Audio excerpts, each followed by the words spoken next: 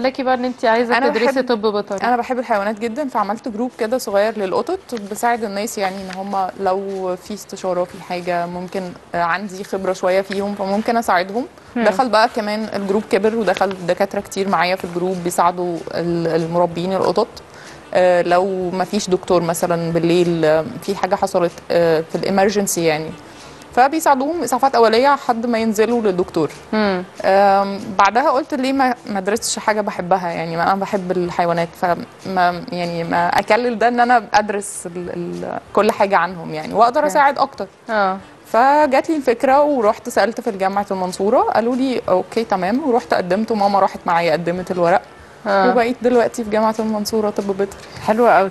هو طب بيطري لازم يكون مثلا في مجموع معين كنت واخداه في الثانويه عامة ولا ملوش علاقة؟ هو كان لازم مجموع في ثانوية عامة طبعا بس آه، أنا عشان دخلت كلية علوم وخلصت كلية علوم مسموح لخريجي كلية علوم إن هم يلتحقوا بطب بيطري بعد ما بيخلصوا. آه حلو. ده كويس. ده جات لك آه جدا. حلو قوي. صدفة يعني. رد فعل بقية أولادك كان إيه؟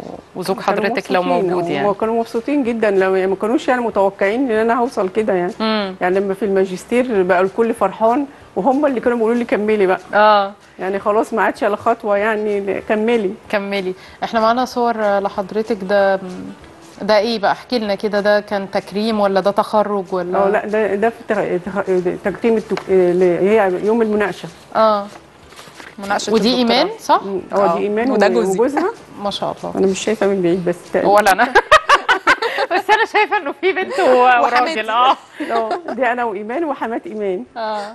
طب أخبار حمات إيمان إيه؟ عسل. مبسوطة وبتشجعها جدا. كانت بتشجعك؟ آه آه، جداً. جدا وجوزها كمان بيشجعها. حلوة قوي طب لما بدأتي تدرسي وكده وأصحابك وأهلك والناس اللي كانوا شايفين في الأول اللي هو أنت لسه هتبدأي والله. أنا أول ما بدأت كنت مخبية يعني أنا أول سنة الموقف. كنت مخبية كنت بروح من ورا يعني جوزي بس اللي كان عارف واولادي آه فكنت مخبية كل يوم الجمعة بتسرق كده لدرجة إن في واحد في الشارع قال لي طيب؟ جوزي يا مراتك بتروح فين ليه طيب ليه ليه كنت مخبية برضو من حتة إن عشان مش عايزة تسمعي آه. كلام سلبي أيوه بي- يعني بيحبطوا برضو مم. إيه انت يعني انت فاضية انت ما وراكيش حاجة إيه انت بعد ما شاب ودوك كتاب مم. هو الكلام طب ده. هل حصل بقى إنه حد من الناس اللي كانت بتقول تعليقات سلبية دي بعد ما انت خدتي الخطوة ونجحتي فيها إن هم كمان أقبلوا عليها أيوه في ناس كتير في ناس كتير كلموني وقالوا لي انت شجعتينا إن إحنا نكمل حلو يعني ناس كمان ما اعرفهمش لقيتهم بيكلموني على صفحات اللي كانت ناشرة عني آه. وبيسألوني طب إحنا نعمل إيه و... قول لهم قلت لهم يا جماعة احلموا وصدقوا حلمكم مم. طب إزاي بتقدري تنظمي وقتك بقى ما بين الدراسة والجامعة والأولاد ما شاء الله خمس أولاد وجوزك وبيتك والحياة اللي إحنا بقينا دايخين فيها والله اللي بيحب حاجة بي... بيقدر ي... يخلق لها وقت يعني أنا ما كانش الموضوع ده كان بالعكس بيشجعني على على شغلي أكتر. أنا مم. موظفة كمان. كمان ما شاء الله. موظفة في وزارة الزراعة. آه ما شاء الله. ف... فأنا كنت بروح شغلي في مواعيدي عمري ما يعني ما بغيبش ابدا غير للضرورة القصوى. محاضراتي ما كنتش بغيب محاضرة. إيه كل حاجة كنت بعملها بن- بانتظام. يعني الحاجة دي كانت محبباني في بقيه بقية الحاجة اللي عندي. مم. الحمد لله. الحمد لله.